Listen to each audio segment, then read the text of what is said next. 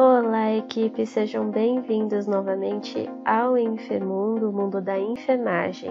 Enfermeira Daiane Sage aqui e vamos para o primeiro episódio da nossa série Questão, Resposta e Explicação Completa, onde eu vou lançar um desafio de uma questão de múltipla escolha para você responder e depois nós vamos conferir a resposta correta e por último vamos entender tudo com uma explicação completa sobre o assunto. Essa série será ótima para aprender, tirar dúvidas e relembrar alguns conceitos também.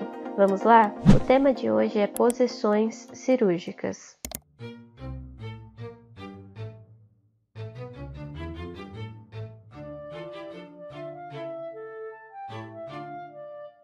Então, vamos à questão. Associe as posições cirúrgicas às suas descrições. A. Supina. B. Prona. C. Litotômica. D. Trendelenburg. Vou falar assim porque nós estamos no Brasil. E. Fowler. F. Trendelenburg ou Trendelenburg reversa. G. Lateral sims. H. Posição de canivete. Krask. 1.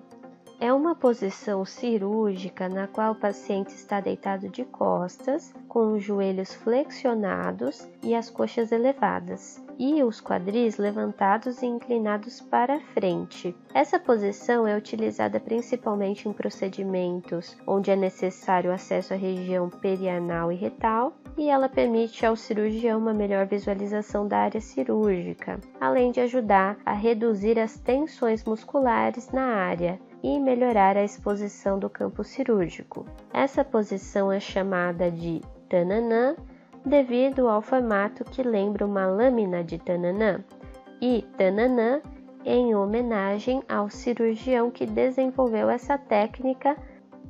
2 é quando o paciente está deitado de costas na mesa cirúrgica. Essa posição é comumente usada em cirurgias abdominais, torácicas e alguns procedimentos urológicos, pois permite acesso à área abdominal e torácica. 3 é uma posição cirúrgica na qual o paciente está deitado de lado, com o quadril e o joelho da perna superior flexionados para frente e o braço superior estendido para cima. Essa posição é usada para dar acesso à região pélvica, retal e renal, e especificamente para procedimentos ginecológicos e obstétricos, para permitir melhor visualização e acesso à área cirúrgica. Além disso, é utilizada para algumas cirurgias como coloproctologia, urologia e algumas cirurgias de quadril. 4 é quando o paciente está deitado de costas, com os joelhos flexionados e os quadris elevados, essa posição é usada principalmente para procedimentos ginecológicos e urológicos. 5. É uma variação da posição de decúbito dorsal, onde a parte superior do dorso é abaixada e os pés são elevados. 6. É uma posição cirúrgica na qual o paciente está sentado na mesa cirúrgica com o tronco elevado em relação às pernas. Essa posição é usada em algumas cirurgias, como procedimentos neurológicos, ortopédicos e outras cirurgias. A posição Tananã ajuda a manter a pressão arterial estável e evita complicações como a hipotensão durante a cirurgia. Além disso, também ajuda a dar acesso mais fácil à área cirúrgica. Essa posição pode ser adaptada de acordo com a necessidade de cada paciente. Pode ser com os joelhos flexionados, com as pernas estendidas e até mesmo com as pernas elevadas para ajudar a manter a pressão arterial. 7 é quando o paciente está deitado de barriga para baixo na mesa cirúrgica. Essa posição é usada em algumas cirurgias, especialmente nas costas, medula espinhal e coluna vertebral. 8. É uma variação da posição de decúbito dorsal, onde a parte superior do dorso é elevada e os pés são abaixados. Agora esse é o tempo de resposta, o tempo que você pode pausar o vídeo para ler todas as descrições e associar com as posições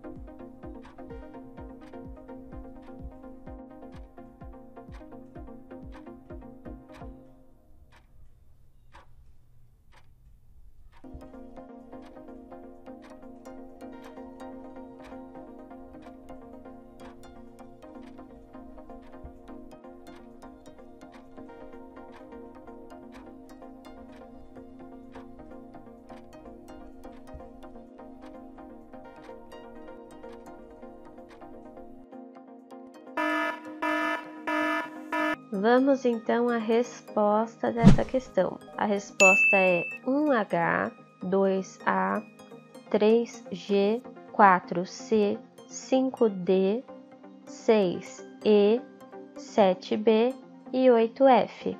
Explicação: vamos entender melhor e ver as ilustrações de todas essas posições cirúrgicas que foram abordadas nessa questão. Começando então pela resposta 1H, que é a posição de canivete Krask.